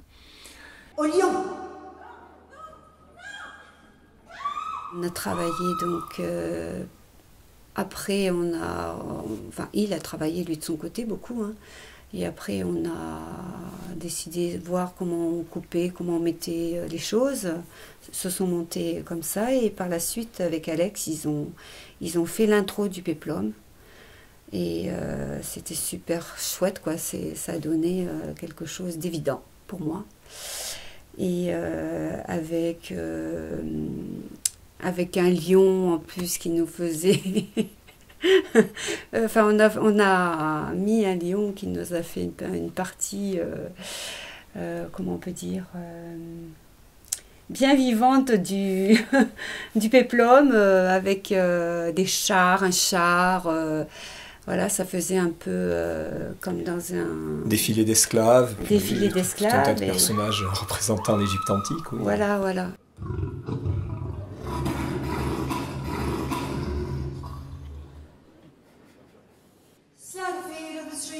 Côté mise en scène, euh, Zazou voulait un char. Comment on allait faire? Il y avait euh, le papa Messonnier, le, bah, le papa d'Alex du coup, ayant fait le piano.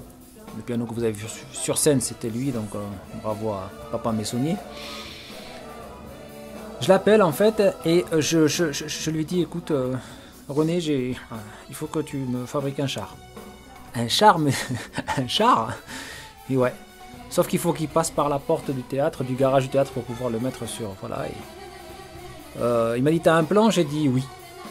Je te l'envoie ce soir. Il me dit ok.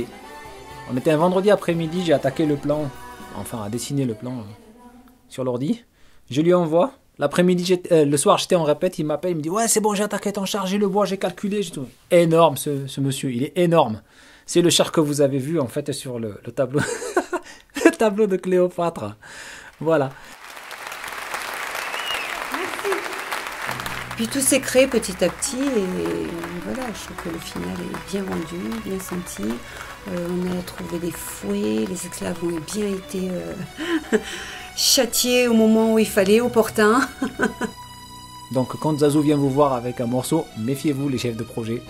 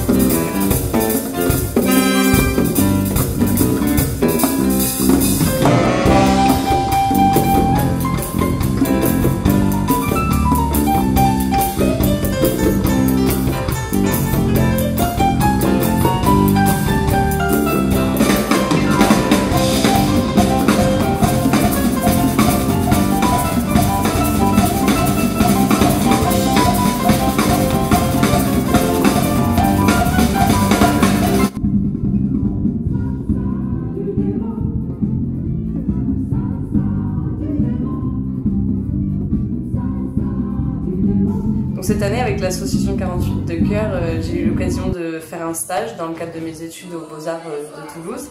Et euh, donc euh, dans le cadre de la scénographie, et du coup j'ai aidé Samir sur la commission artistique. J'ai donc ré- réalisé par exemple des storyboards pour faire des vidéos sur les intermèdes et j'ai pu l'aider sur tout le montage des vidéos de mapping et la création de certaines animations. Et j'ai aussi assisté à, trois spectacles dans les coulisses pour, euh, voilà, gérer euh, la projection et, euh, et le bon déroulement des, vidéos de mapping quand Samir était sur scène. Et, et donc ça a été un- une, expérience assez enrichissante pour moi dans le sens où j'ai appris énormément sur la vidéo, sur des principes de vidéo, de cadrage, etc. Et j'ai aussi appris beaucoup sur des logiciels que je connaissais pas, de montage de vidéo, de, de, création d'animation. Euh, et c'était, ça a été pour moi vraiment une belle expérience aussi de, d'être dans le feu de l'action euh, sur scène sans, sans être euh, sans faire partie des artistes et des chanteurs et, et- voilà je- j'en, j'en garde une, une belle un, beau souvenir et, j'espère que cette année euh, ils feront euh, un, spectacle à la hauteur de tous les, autres et que ce sera euh, encore une fois euh, magnifique.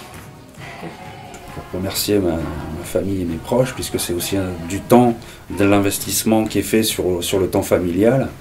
J'ai la chance d'avoir une compagne très compréhensive qui, qui me laisse y accorder le temps nécessaire et qui est, euh, qui est aussi fière, je pense, de- du spectacle qu'on arrive à, avoir au, au final, du rendu final. Mais en fait, euh, à la fin, avec le spectacle, quand on voit euh, les gens qui applaudissent, les gens qui ont le sourire, quand on voit aussi euh, les chiffres défiler euh, de, voilà, de ce qui va être reversé aussi euh, au Resto du Cœur, en fait, on, je crois qu'on oublie un peu le côté, euh, le côté investissement, le côté fatigue, le côté stress. Et finalement, on, on retient que le positif et euh, la seule envie qui nous reste, c'est l'envie de, de continuer l'année d'après. Je pense que ça se ressent de toute façon dans la salle, parce que ça ferait pas 9 ans qu'on le ferait sinon, enfin 8 ans pardon. Et qu'on jouerait à guichet fermé à chaque fois. Voilà. Mm. Et euh, alors certes, les gens viennent aussi pour euh, les restos, mais Bien sûr. je crois qu'on a créé un rendez-vous et que Oui. et que et que c'est pas fini. Euh, on, essaie tout le temps de- d'améliorer, on peut dire, le spectacle. Et améliorer le spectacle, c'est le porter dans des endroits où il n'a pas encore été. Quoi. Voilà. Et, et- et- et travailler le- les aspects scénographie. euh, eh ben, yes, good. Moi, ça me plaît et c'est mon kiff et je vais continuer à le faire. Moi, euh, mon meilleur souvenir, euh, ben, c'est quand euh, j'ai porté euh, le gros chèque pour les restos du cœur et que je suis passée dans le journal, j'étais très contente. Et toi moi, je suis contente. Oh, bien, moi. Sur la fin de l'autre et... C'est-à-dire que le, le temps écoulé entre deux saisons de 48 de cœur se réduit d'année en année, quoi. Faut dire. Voilà, il faut y penser de plus en plus tôt parce que on veut euh, faire de plus en plus beau et de plus en plus gros. C'est pas forcément euh, bien non plus, hein, mais euh, on cherche toujours à améliorer et des fois, euh, bah, ça nous prend, ouais, sur l'été, ça nous commence à nous travailler. Oui, euh, et puis début septembre, c'est parti, quoi. On y est à nouveau, jusqu'au Voilà. euh, plus un soir de libre dans la semaine, on y retourne, quoi. On y retourne et pour ne pas être trop trop fatigué en, en- en début d'hiver, en fait, on essaye d'y penser assez tôt pour euh, Étaler peut-être ouais, voilà, le travail. ouais. é- voilà, étaler le travail et, euh, et se dire que bon ben on sera plus tranquille à Noël et, euh, et plus serein en tout cas et euh, moins de stress et, et finalement on arrivera sûrement, mais ça c'est sûr, on arrivera à faire quelque chose de bien encore cette année. Alors la saison 8. Madame la présidente. Euh, ben moi, c'était ma première année en tant que présidente de l'association. Très fière de porter ses couleurs. Euh, surtout, euh, j'ai l'impression que ça s'est plutôt bien passé. En tout cas, pour moi, c'était une expérience extraordinaire. Et j'ai beaucoup aimé euh, l'ambiance qu'il y avait partout. euh, l'osmose qu'il y avait entre, euh, entre tout le monde. Il y avait des pupitres, certes, comme ben, forcément, comme on, se retrouve, nous, pour le chant, parfois pour chanter ensemble, les cuivres pour être ensemble, les danseurs aussi. Mais au moment où tout le monde se retrouve, il n'y avait pas euh, cette notion de, de, de clan, tout le monde était vraiment euh, ensemble pour monter euh, un superbe spectacle. Et j'ai vraiment apprécié ça. Je sais pas comment dire.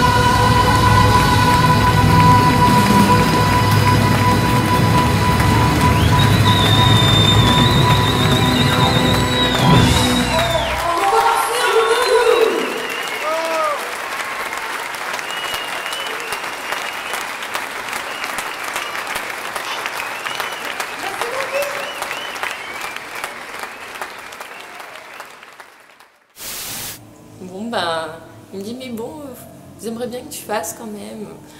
Je dis, bon, bah. voilà, et depuis, il fait de l'allergie à Voilà. John Lennon, Je- euh, tout ça, je, tout ça. Je, je- je suis allergique aux lunettes rondes. Qu'est-ce que tu fais? J'étais bien soutenue bah, par toi et puis par euh, toute l'équipe euh, du 48 quand même, tous ceux qui étaient sur ce projet, même des gens qui... Voilà, eux aussi. Et puis, Pardon. Ils les côtoient plus, ces gens-là. Je fais la tournique quand même. C'est-à-dire Ben, Vous vous démerdez pour faire les chœurs. C'est quoi la tonique Ok. Pa, pa, pa, pa, pa, pa, pa, pa, pam. Para, pa, pa, pa, pa, pam. Para, pa. Bah, ceux qui étaient sur le projet, euh, c'était allergique. C'est par série, en général, c'est au minimum 3. Qu'on se réserve à, à nous de façon égoïste. hein, euh, nos mandarines, nos bananes, pour avoir euh, donc bières, euh, voilà. un petit peu quelques bières. Moi, j'ai exagéré le ça samedi. arrive, Ça- ça, arrive, ça faut pas le dire. Si, Mais si, si. donc euh, J'ai une idée là. Non, euh, très riche, c'est très riche, euh, une aventure très riche musicalement parce que euh, déjà c'est pas, c'est totalement différent de la, f- de une manière de travailler différente de, que, enfin, j'arrive pas- j'arrête, non, mais ça- Tu vas y arriver. Je vais pas y arriver. Tu veux boire une C'est- bière C'est. Non. Attends, c'est pas grave. Et en même temps, euh, depuis 8 ans euh, qu'il y a les 48 de cœur et que toi tu y participes et que tu as été à la fois porteur de projet, à la fois dans le bureau, à la fois dans tout ça, et puis qu'on s'y est mis ensemble après, puis après en famille avec Théo et Zoé, t'as toujours eu que des idées complètement euh, falabraques. C'est pas vrai? Hein? Ah oui. Et oui, et tu peux pas dire le contraire. J'étais euh, j'étais dans les loges, dans les loges piano, Et euh, je vois Brug qui déboule, qui sort de scène avec sa guitare. Ouais, Greg, euh, tu peux me tenir ça Il faut que j'aille me changer. Et, euh, C'est le jour du concert. C'était le jour du concert, ouais. Donc la, sa, sa nouvelle Luc euh, qui euh, fait du feu de Dieu, quoi. Et bon, forcément, je prends sa guitare, je la passe, et puis l'envie est trop forte, je commence à, gratter un petit peu dessus. Et, clairement, je je suis pas guitariste. Tout à coup, je, je vois la porte qui s'ouvre euh, en grand mais qui vole en éclats. Samir qui déboule avec des narines comme ça et qui hurle Qui joue de la guitare? C'est moi Parce qu'en fait, euh, le volume n'était pas coupé et je sortais sur scène. Ah, je peux. Non, tu, tu- veux refaire tu- ouais, tu- Non, non, vas-y. non, Ouais. je- c'est une ma- c'est- c'est manière Attends, différente de travailler que lorsqu'on. J'arrive pas à trouver, à trouver ma phrase. ouais. Une manière différente de travailler que. Prépare ta phrase, y a pas de C'est ça, souci. que quand on est. Et maintenant, tu peux clapper. Vas-y, fais le clap. Tu rêves de le faire. Ouais. Un, un beau clap quand même. Ok. Bonsoir. C'est sur quel clap maintenant que je fais Celui que tu veux. Le dernier clap. Celui claque tous. Clap tous.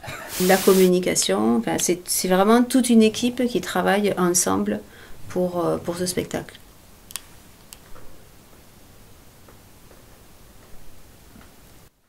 Et, Et- donc Et. Et. C'est pas fini. Et c'est pas fini C'est pas fini Je peux pas comprendre. si on les met à l'envers, en fait, ça va jeter quoi. Le, le- Mais attends, qui t'a mis à l'envers ben, les, les, les, les com- ah oui, pardon. Les, les figurants, les, les danseurs. Les euh, squelettes, les squelettes, patates. les squelettes, oui, pardon. Les squelettes patates, oui, oui. Il n'y a pas de patates, il n'y a que des squelettes en fait. voilà. Donc on a mis, on a laissé les patates, on les a bouffées, et les squelettes, on les a mis sur scène, et on les a mis, on les a mis à l'envers. Enfin, Nico, tu es un bouche-trou. Ça, je, je fais bouche-trou en fait. C'est ça Enfin, ou sinon tu fais le, le, le trou aussi, y a pas de problème. Tiens. Non, non. je- Euh, euh, ah, mais si elle vient de mon pays, celle-là. Ah, Ah. oui. Ah ouais, Une pas bonne de publicité, pas de publicité. ouais. Ah oui, c'est vrai. Comme ça. Vas-y, tu peux commencer, moi je, je te... Euh, Ça va? Ouais, les nuits blanches. euh, Ouais, les nuits blanches. Oh putain, là c'est pas possible. Ah non, c'est bon, c'est bon. Non, là, c'est- ça c'est la, la vidéo. c'est la vidéo que j'ai. La vidéo que j'ai mis. Gars. Avec le micro dans le C'est truc. c'est moi, pardon, pardon. C'est la bière. C'est pas. La présidente qui casse tous les verres. Il montre sa collection de tasses. Mais ça, plus c'est au pays, c'est au Et t'as technicien, le, the le collection of fin. uh, my great co- my great collection of all my life. Le mec il dit. L'autre, t'as le stagiaire avec la perche, le micro Bon. J'attends que tu te concentres et qu'on t'entende plus rire pour que je puisse commencer mon interview, euh, Samir. tu me le dis hein, quand t'es prêt que je puisse démarrer. Enfoiré du 48. Il y a un peu de rondeur. Mais ma belle, t'étais prévu dès le départ. Mais C'est- sûr. Mais c'est sûr. C'est sûr que c'est sûr que qu'on allait le faire ensemble ce truc-là. Je veux dire. Mais au départ, euh, si t'étais punk et rock, c'était pas forcément avec une patte. Non, mais ça, toi, tu l'avais. Moi, moi, quand je me suis levé le matin et que j'ai eu l'idée, t'étais dans l'idée. Attends, il n'y avait pas photo, quoi. Il n'y avait pas photo. J'ai même. tu- Tu as, tu as pas. T'arrives pas à lire dans mon cerveau. Non, pas encore. Ben, heureusement. Je vais mettre un gros texte sur rattrapage. bon allez, un peu de sérieux putain. C'est de l'eau quand même. hein. Et La bière, les bières sont vides, il y a que la bouteille d'eau qui est pleine. Ok. Super ouvert, super voilà qu'on peut faire évoluer, qu'on peut faire euh, à notre sauce, qu'on peut faire euh, à notre assos. J'en aurais des claps. C'est juste quelque chose. Enfin, moi, je m'éclate euh, vraiment à faire Mm. ça. Là. Vraiment, je m'éclate beaucoup. Très enrichissant. ouais. Ça vaut le coup. Voilà. Franchement, ça vaut le coup. On vous le dit. Venez, faites-le. Faites-le. Rien ne vaut la tierce picarde quand même.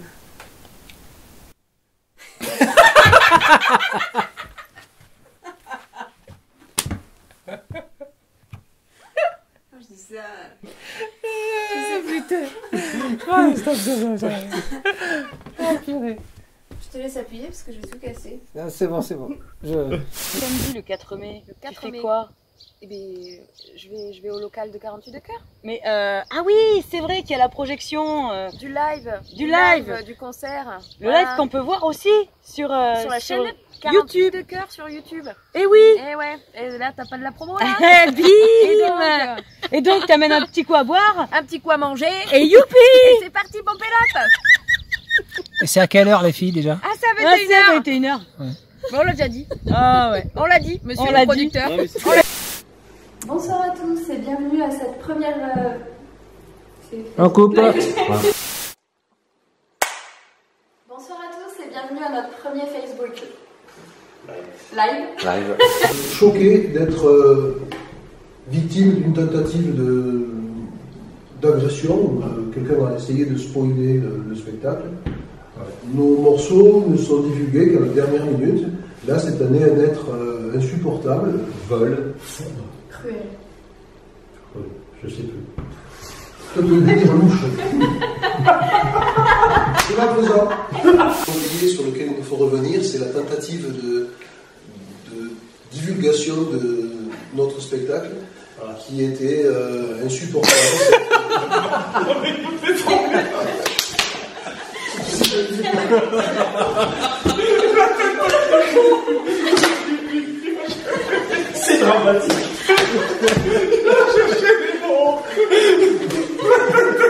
de divulgation. C'est marrant. Moi, je dis ça. Moi, je me dis ça. Ça va tenir, Alex.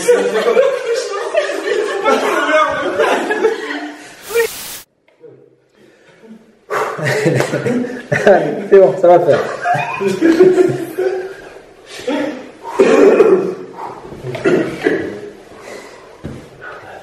Ça va bientôt démarrer le Facebook Live, on se concentre. Ok, restez sérieux,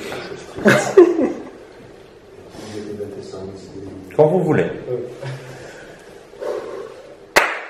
Bonsoir à tous et bienvenue pour ce premier Facebook Live. Voilà. Voilà. Oui, encore, pourquoi c'est déjà ton portable Non, non, non, je comprends pas. Ah non, le pacemaker Ouais, très bien, je sais pas. Pense qu'on reste pirater encore une fois là. Putain, c'est Non, non, tu non, crois que c'est non, un non, nouvel non. individu euh, vol Fourbe, Cruel. louche et malfaisant. Mais il ne nous aura pas. Moi, je pense que comme ça.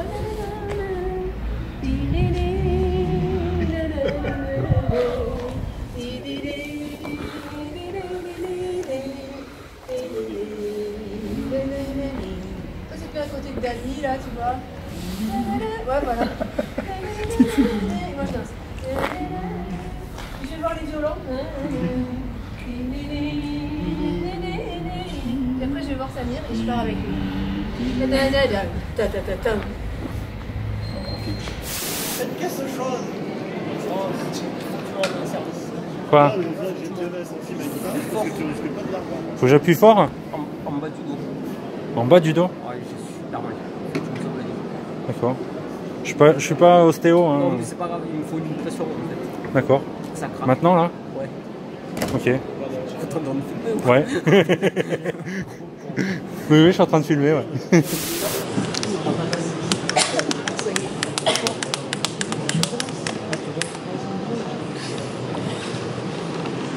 Qu'est-ce qu'on attend en fait hein? Le DPA. Le DPA, c'est quoi ça Tu ne me feras pas parler. tu veux me soutirer des informations Tu veux me soutirer des nez Tu n'arriveras pas. Bon, On va aller voir ce qui se passe là-bas.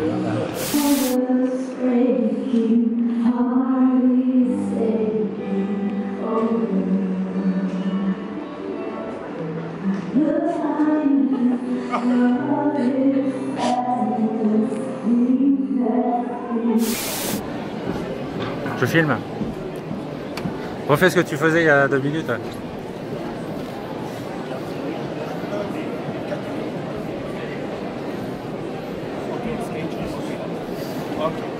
Yes. Yes, okay, back to the drum, okay. Ok. Normalement, le problème est réglé. C'est réglé? C'est bon? Ça ira mieux du coup ce soir? On t'a vu arriver avec la... Oh mieux, ça ira moins pire. Ça, ça sera moins pire. Maybe. Ça, C'est chaud. hein. Ouais, c'est chaud. Il nous faut un mec qui a pas de cheveux. Bon, je me casse parce que moi je joue pas.